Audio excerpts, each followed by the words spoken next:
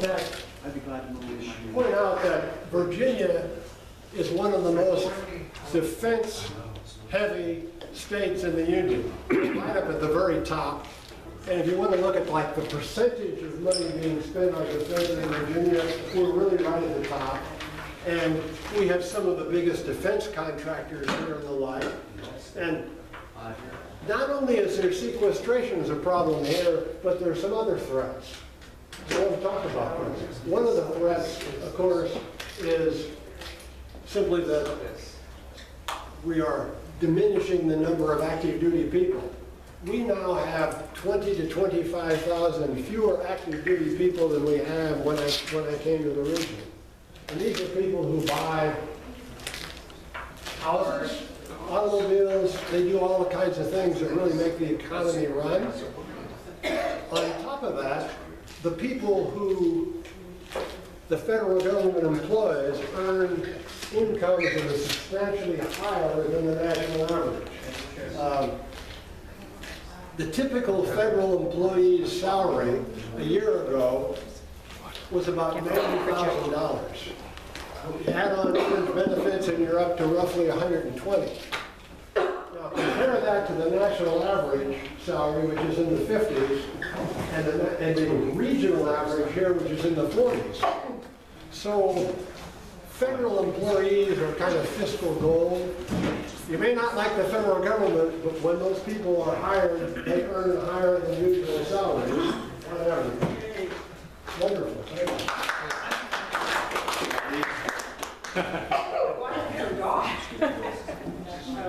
This is another way to look at defense spending.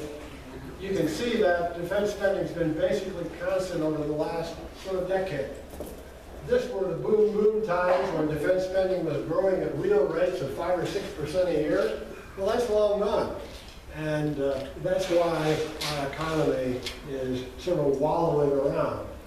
Now, this graph is maybe a little bit deceptive in that it says that now defense spending accounts for only 36.7% of our regional economic activity. So we are more diversified now than we used to be. The problem is, the reason for that is not because our private sector has grown, but rather because defense spending has basically been constantly in declining a little bit. So we've become diversified, but really not for the reason we would like. I mentioned this defense spending by state. These are total defense spending dollars, and Virginia leads the pack there, up in the $50 billion a year range. These are percentages of the state product. We're actually second among the states and third if you count DC. And I stuck in Wyoming there because it has the lowest percentage nationally. uh, That uh, things are related to federal government spending. Mentioned active duty personnel. We have almost a quarter of a million in Virginia. These are a little, just a little bit out of date. And uh, you can see where some of the other big ones are. This will be tough to see, and I apologize for it, but the size of the circles relate to the amount of defense spending. This is Northern Virginia, and this is Hampton Roads. You can see their circles are larger than ours. Means they're spending more money on defense there than we are. Now, proportionately, we're larger in our dependence upon defense spending, but they're spending more total. They're even more responsible or responsive to the declines than we are. Who are the biggest defense contractor in the region, Maryland and Virginia? Of course, Huntington Ingalls, that's no secret. One of the things that's out there, though, is President Trump has talked about building two carriers at the same time. If that occurs, that will be a major engine for job creation and economic activity, because that would last quite a long time.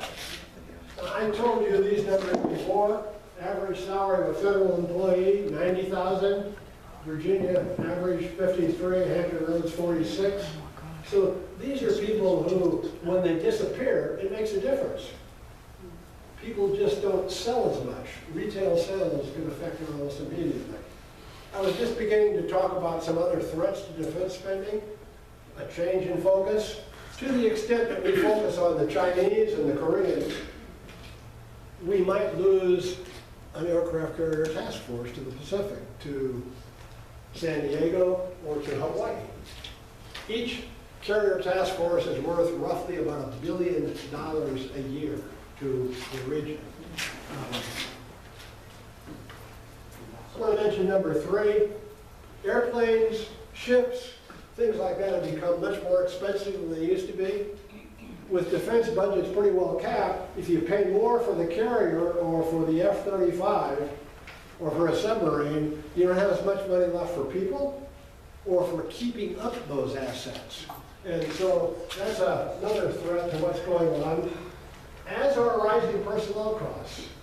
Now, I'm not here to argue that the people don't deserve these things. I'm simply saying when you spend money on that, you can't spend it on something else. And that, too, might mean that we will see fewer people at Oceana or fewer planes or something because of those. And finally, I have to add number five, at some point, if this continues, the United States Navy is going to decide that it's too expensive to be at Naval Station Norfolk. Uh, But just the United States Navy, it might be Norfolk Southern, it might be Huntington Ingalls. There are all kinds of people who have to figure out how to deal with this stuff as it becomes more and more important. I also want to mention our use of our naval assets. We're overusing them. And I think we see some evidence of that in terms of performance and the like, but uh, we've been deploying them just about as often, but we don't have as many ships, as many hulls, and so uh, we're wearing the stuff out. And we can't repair the stuff, we can't maintain it as mu, as much or as well because of sequestration. So the bottom line is, the Lord giveth, but the Lord can take away, and the last decade or so, the Lord's been taking away. The previous decade, the Lord was giving, and we had lots of economic growth. But we are really still very sensitive to federal spending, and particularly to defense spending. Talk a little bit about the port. And I want to show you just really one particular slide here. This is a slide for TEUs, the 20-foot equivalent units, the boxes you see on the trucks. Uh, You can see we set another record this year. Uh, Last year, and the numbers just came out for this year, we're up another 7% in 2017. However, I do have to point out that Savannah and New York, New Jersey went up more than 7%. They did a little bit better than we did, so we marginally just lost a little bit of market share probably uh, in terms of uh, we stand. But we've had a real turnabout in terms of the efficiency of operation of the port, in dealing with congestion uh, and the like. But we there face some challenges too. I mentioned congestion. If you've gone out Route 164 from Portsmouth to Suffolk, you've oftentimes seen that lineup of railroad cars and trucks there. You have to find ways to handle that. The depth issue, there are now ships afloat that carry 20,000 plus TEUs. They require deep draft. We have to make sure that we can handle them because our competitors are going to be able to do so. And finally, I want to mention this, that uh, in October of 2018, there's another labor contract coming up. Now, the Hampton Road Shipping Alliance relationship with the ILA, the longshoremen, has generally been pretty good. But uh, that's coming up, and uh, we need to keep our eyes on that because we don't want our port to be shut down. Let's talk a little about hotels and tourism, which of course uh, impacts Virginia Beach. These numbers are all good. Hotel revenue and RevPAR, revenue per available room, which is sort of the coin of the realm in the house or the hotel industry, they're all up. Uh, USA, Virginia, Hampton Roads. But some areas are doing better than others. The beach is doing very well. Williamsburg, not so much. The Historic Triangle, I've talked about this before, they've kind of a marketing problem. Uh, I have grandsons and they're not particularly interested in going there, even though we want them to go there. They'll go to Busch Gardens, but not so much the historical things. And uh, Williamsburg has to find a way to, to deal with that. But here's a caution, cautionary slide. Look at that right-hand column. That is hotel revenue as a percent of our GRP, our gross regional product. And you can see that that's gradually been falling. The hotel motel industry per se then is not as important now economically as it used to be. And this is despite the fact that the people in Richmond every year hand out sort of uh, Kool-Aid kinds of numbers that say it's all going up. Well, it's not. Here, now, that doesn't include all the other kinds of spending that tourists do, and notably, it doesn't include Airbnb. This is the percentage of Airbnb revenue in Hampton Roads. It's a percentage of what the hotels are bringing in. So it's sort of like one in 25 now, but this is only what we can track through Airbnb. And of course, there are people other than Airbnb doing this stuff as well, as you know. Uh, The interesting thing here is that especially in Virginia Beach, along the ocean front, it is the big places, the four-plus bedroom things that are bringing in the most revenue. We did a study for the city of Virginia Beach uh, on the impact of Airbnb and had these conversations in which we said, look, we know some people out in the neighborhoods are vexed about the house next to them being rented, but that's sort of small potatoes compared to these big guys. That's where all the revenue is, and that's where you need to focus your regulatory and enforcement efforts. Because if I have a house, I can put it on the market, I can take it off the market, it's really tough to track me down. But those people who have four, 10, 12 bedrooms, you can track them pretty easily. And uh, that's where all the revenue is if you want to collect taxes or if you begin to have behavior problems and so forth. So That's sort of a complex thing, but uh, I think the councilmen know about the report we did, but if you want a copy of that, we can supply it to you. Let's talk a little bit about the housing market. It's been recovering, but not booming. I think that's the best summary. You can see we had some notable price decreases, but our increases have been pretty modest and are well below the national average. We are selling more homes than before. In fact, I just read that we're up now in the 25,000 range for 2017. And the number of days on market, that's the red, that's gone down. So the housing market's doing better. But the big question out there is how much distressed inventory is still being held by financial firms? Now, we did a presentation the other night to uh, the savings and loan people, the credit union people, and they said they really weren't holding much distressed inventory. By distressed, I mean somebody who has a house that's now underwater and so they have to sell it, or a bank-owned property that they had to take over.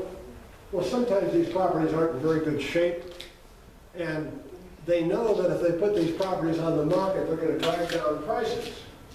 Well, short sales as a percentage has really declined from the peak, and REO sales, the bank-owned properties, aren't nearly as many of those coming on the market, so all of this is good. And the reason we need to pay attention is, if it's a bank-owned property, it sells on average for only fifty-two percent of a regular property. And if it's a short sale, sixty-nine percent. So when those properties come on the market, they push down sales. So critical to the recovery of the housing market in the region is knowledge of how many of these properties are still out there. And the answer is we don't know, and no- nobody's going to tell us. But it looks like things are improving. And I stuck this one in. This is sort of my quiz for the morning. Who's the guy in the beard? Paul Krugman. Paul Krugman, you're right. Paul Krugman, uh, who has written a little bit about the next topic I'm going to talk about, which is declining labor force participation rates. Yeah. If you are age, let's say, 25 to 64, prime working age, are you in the labor market or not? Are, are you either employed or looking for a job? Well, the answer for men, that dream, is that that's been falling for years and years and years. Women, that surprisingly has gone up dramatically, but even for women, it's begun to tail off. And so the blue is the combination, the overall. But behind this, there's some interesting things happening. This is for old people, guys like me, okay? These rising lines are rising labor force participation rates. Old people apparently can't afford to retire. So when you go in McDonald's and there's this old guy behind the counter, that's because maybe either he can't afford to retire or he just wants something to do. But anyway, this is the single exception, really. You go across white people, black people, young people, middle-aged people, all of their labor force participation rates are falling. But for more mature people, that's a better name, better descriptor, uh, more of them are working. Now, if you look at people 16 to 64 who work 27 plus hours per week in 2015, Virginia Beach looks pretty good. But here's Buchanan County.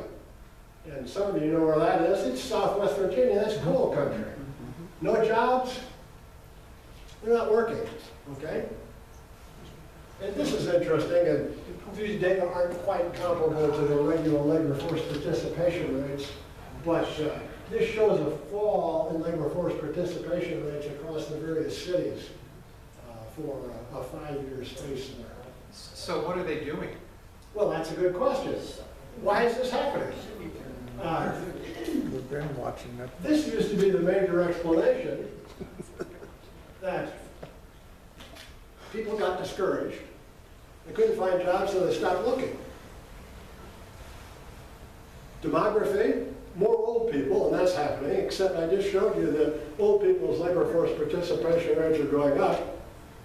Social safety net, well, is it possible to somehow put together a combination of things, to cobble together food stamps, unemployment compensation, disability, whatever it might be, and somehow or another make a go of it? Well, perhaps. What about rising disability? Twelve percent of all the eligible people in West Virginia are on disability. It's about six percent in Virginia. Disability then in West Virginia has become sort of a long-term unemployment compensation that doesn't go away. It doesn't end after 99 weeks or something, it just continues. Who, who's paying that? Taxpayers. Taxpayers, yes. Taxpayers. Yeah. It's primarily a federal obligation, but some state contribution as well. This used to be a popular explanation, more individuals going to college, but I'll show you in a moment, college enrollments have been falling nationally and in Virginia. The gig economy? Well, yeah, this may be one of the reasons that we're not counting what's going on out there, because we can't see it, the people don't report it. And I think I've got a job because I'm driving Uber and Lyft, but nobody out there else thinks I have a job. I'm not being counted. And then there's opioid abuse, and we have a chapter in our reports this year about such, and this rising line of drug overdoses, but look at that second sentence. More than forty percent of prime age men, not in the labor force, said they took an opioid in the previous twenty-four hours. Now, that's deadly for you if you want to get a job. If the employer gives you a drug test, and many, many do, you fail. And Bob McNab and I meet now these employers who tell us, we can't hire people. We're trying to hire truck drivers or whatever it might be, and we can't get the job done. We can't get the job filled because people keep flunking the exam. But it's a little bit scary too that twenty percent who are employed said they did. Now, some of the opioid use is entirely legitimate. You've got